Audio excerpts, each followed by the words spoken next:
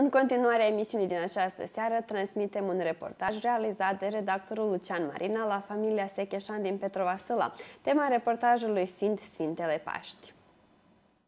Binecuvântat este Dumnezeul nostru totdeauna, acum și pururia și în vecii vecilor. Amin. Hristos a înviat din morți, cu moartea pe moarte călcând, și celor din morminte viață dăruindu-le.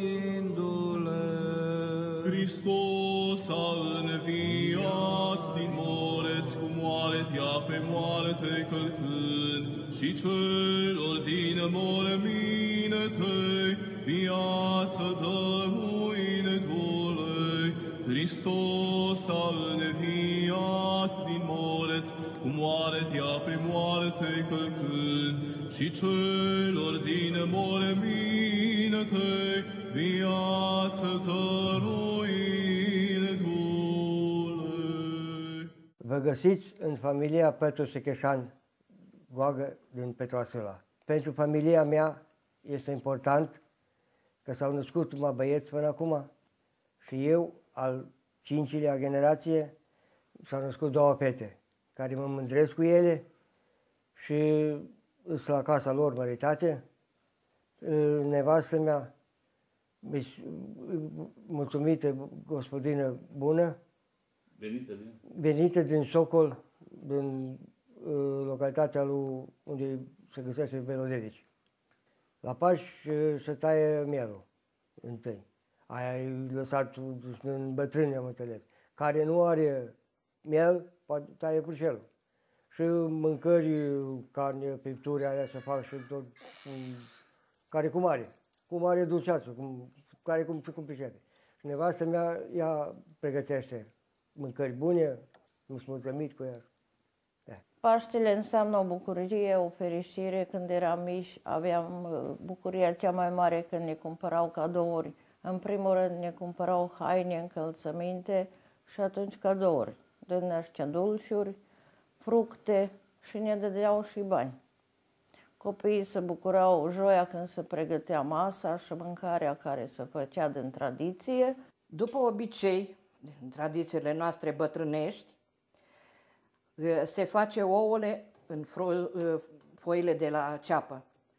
Nu au existat înainte, pe vremuri, atâtea culori eh, și tot felul ca în zilele astea. Deci ăsta a fost obiceiul să se fiarbă în frunzele de ceapă.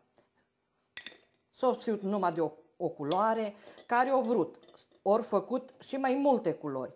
S-a făcut cu varză din aia al, uh, uh, albastră, să iasă culorile uh, așa puțin în mov, uh, cu uh, de la bluze, uh, de la copii care rămân din alea colorate de sintetic, de tot felul de...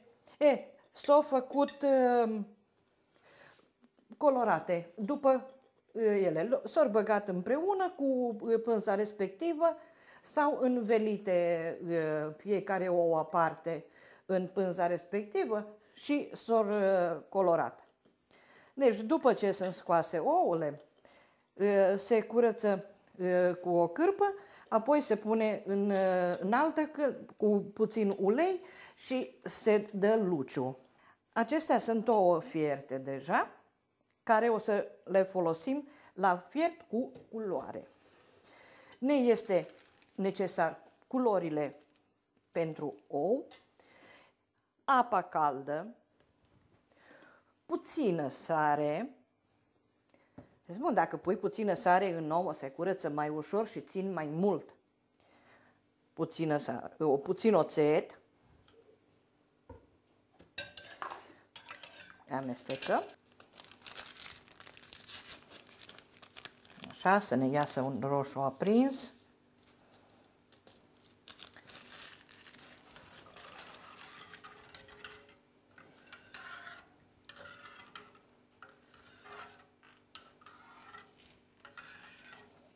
Ouăle le băgăm în vopsea.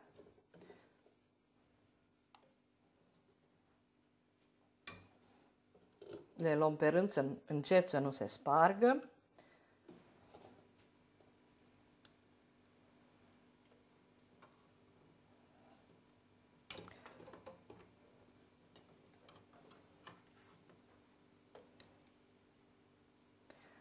Ia ce culoare frumoasă, limpede.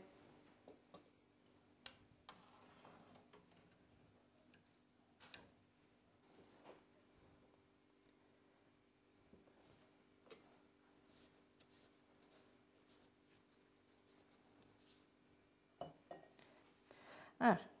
Ouăle cu vopsea deja uh, le-am lăcuit. E, acum astea sunt din frunzele de ceapă. Așa cum ne-a învățat bunica să facem, așa facem și noi, învățăm și copiii noștri, nepoții noștri să le facă la fel.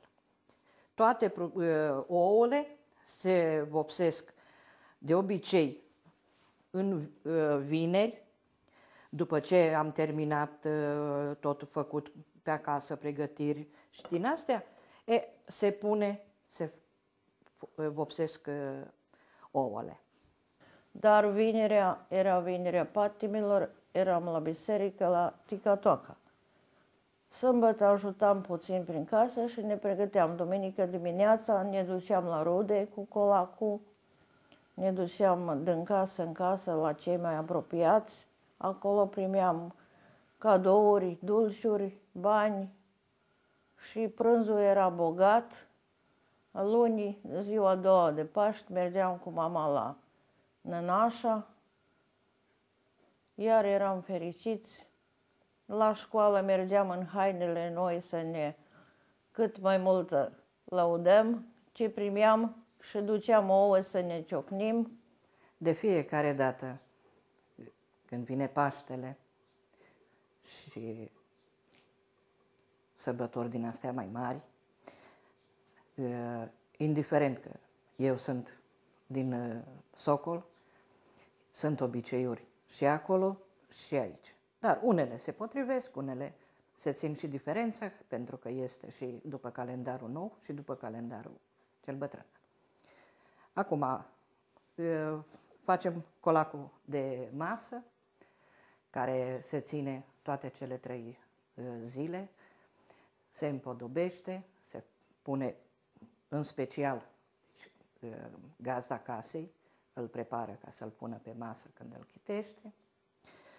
Și pentru colac este uh, o deosebire, nu se face ca și pâinea, se pune mai multe uh, produse.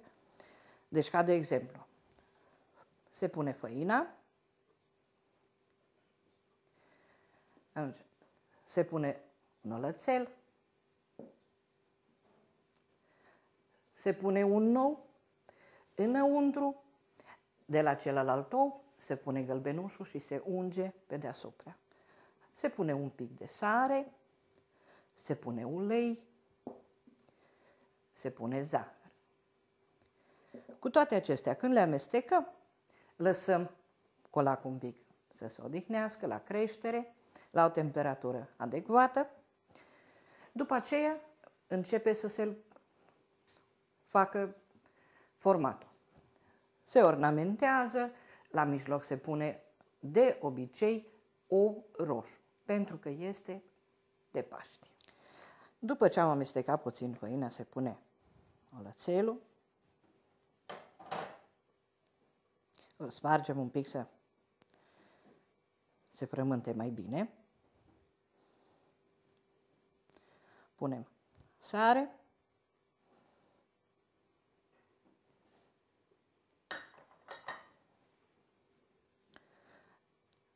zahăr, să-l facem puțin mai dulce și ajută la creștere. Ulei,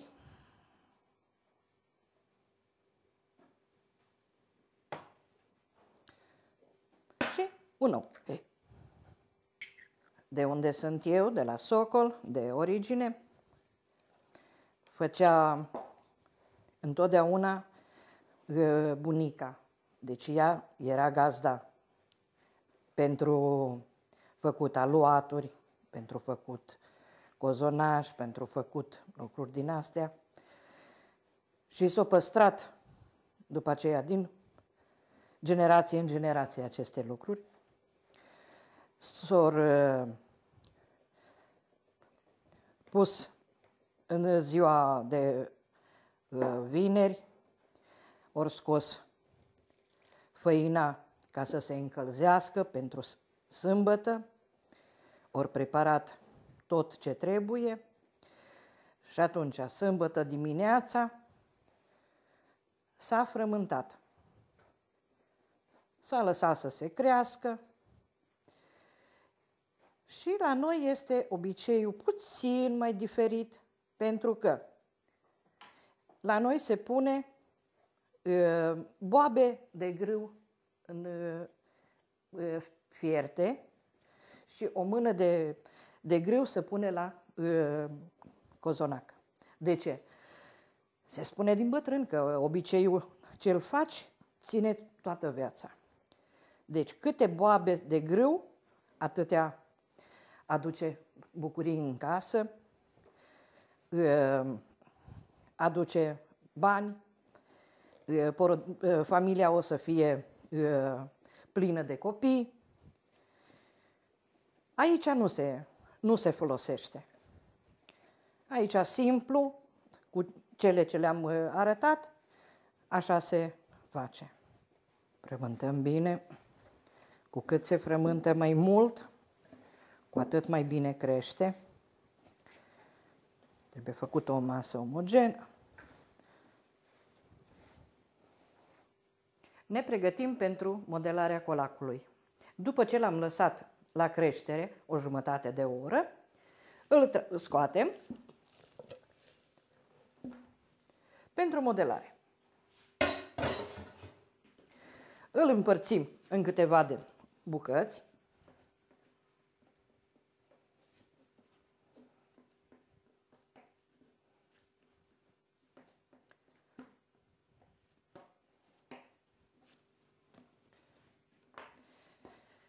Și facem?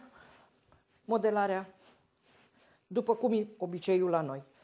Se face o codiță împletită, împletită, răsucită așa frumos ca să aibă un model.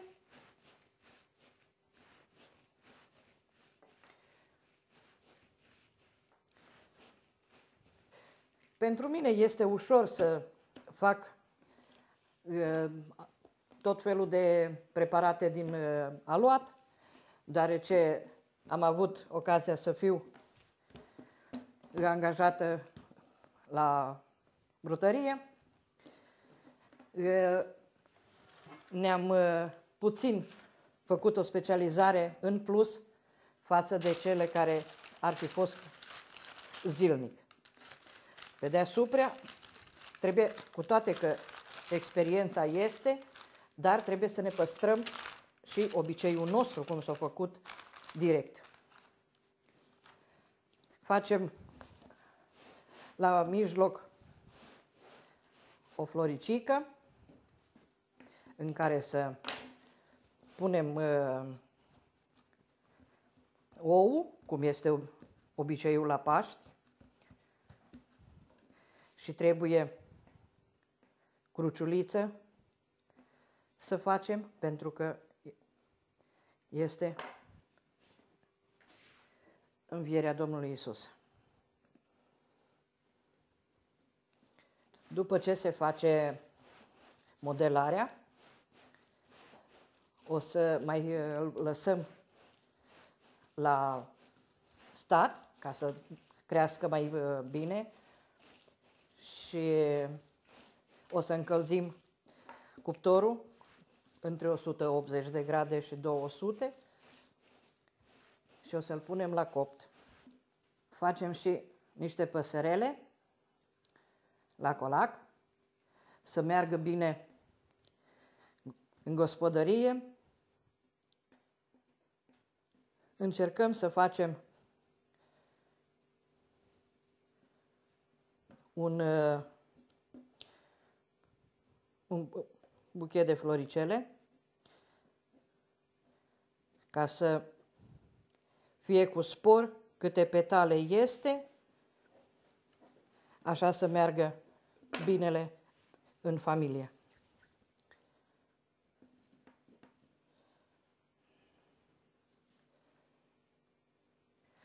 Separăm albușul. Ne trebuie numai gălbenușul ca să-l facem galben. Când se coace, din cauza gălbenușului, el devine mai roșu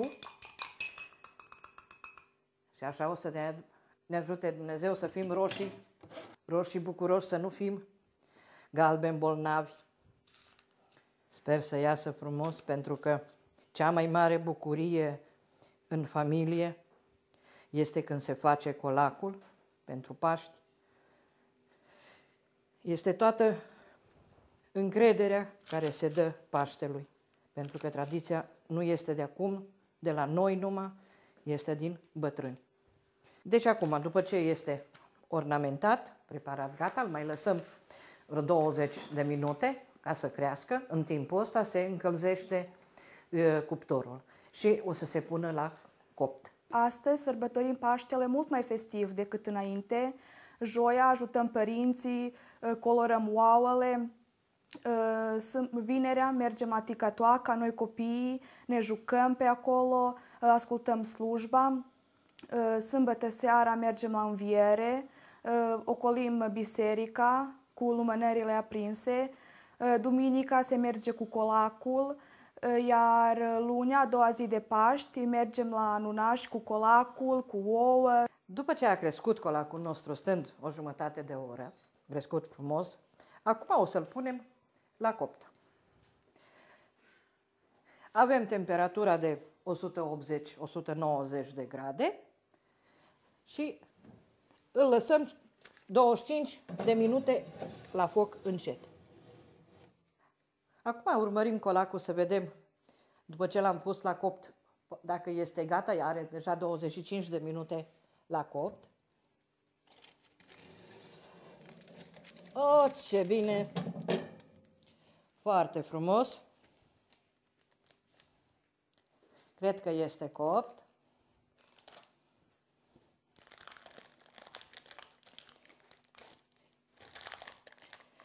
Se vede rumen.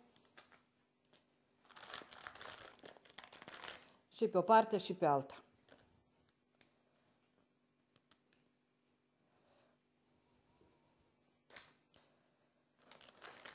Sper să fie colacul bine copt, că după mână se cunoaște foarte bun. Acum, după ce s-a terminat cu colacul, terminat și ouăle, începem cu pregătirea carnei. Carnea facem și la grătar, facem și în uh, cuptor, facem miel umplut și un pic de drob așa cum este obiceiul. Ăsta l-am obiceiul a nostru de la Socol. Dar aici seamănă, dar pentru că nu este mare diferență, așa că folosesc și aici tot același obicei. La carnea de miel, ă, de obicei, când este ă, făcută bine ruminită și asta, noi folosim sosurile de vișine. Dacă facem carne friptă așa cum s-ar face în tigaie, uh, folosim hrean, uh, salată verde, uh, salată de sfeclă, salată de varză roșie, de varză verde, de țelină, să fie așa puțin asortată, să aibă mai multe culori. Dacă fac și grătar afară, Aia special se folosește numai ceapă verde de-a, de proaspătă. Ă, toată pregătirea asta ca să pot să le prepar, mi-a trebuit câteva zile dinainte să le pun la marinat. Carnea, toată ă, bucățele, cum am tăiat-o, preparată, am făcut uh, cu uh, rozmarin, sare, piper, uh, salvia uh, are putere și uh, desface carnea să fie mult mai aromată, exact la fel cum este și la bicarbonat. Atunci uh, ai uh, usturoi, cum zicem noi direct pe românește, ras, băgat în apă. Atunci fiecare bucată o pui în, în aromelele preparate și se pune în alt vas. Atunci, după două, trei zile, tot timpul se întoarce ca să intre marinarea înăuntru, să aibă gustul ăla specific. Uh, sosul de vișini, dacă facem pentru carnea friptă, uh, îl preparăm ca și un sos normal, dar nu punem uh, roșii, ci punem uh, vișini. Dacă nu uh, avem vișini proaspete, folosim din compote. Pentru Paști am pregătit următoarele produse. Cum se începe întotdeauna uh, masa cu aperitivele. Uh, am făcut ouă umplute,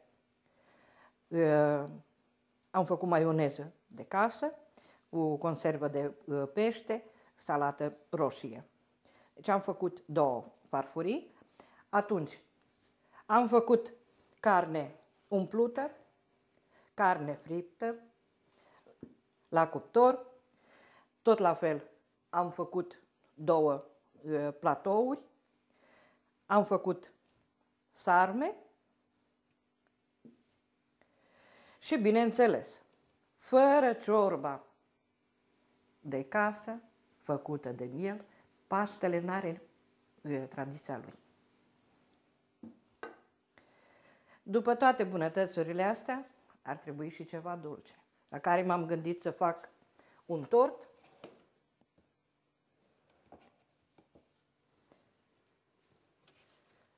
Și am făcut bobițe dulci.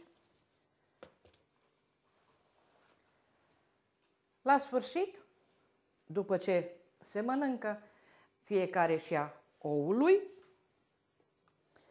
se alege să merge la fiecare membru din care este la masă, dintre copii, nepoți, și se ciocnește. Și se alege câștigătorul, pentru că suntem adunați cu toții din familia noastră pentru mâncarea de Paști. Este aici deocamdată verișoara mea primară, nepoata. Înainte de a mânca, aș dori să împart la fiecare câte un nou să ne ciocnim, să ne meargă cu bine și să vedem, poate avem noroc cu unul să le spargem la toți.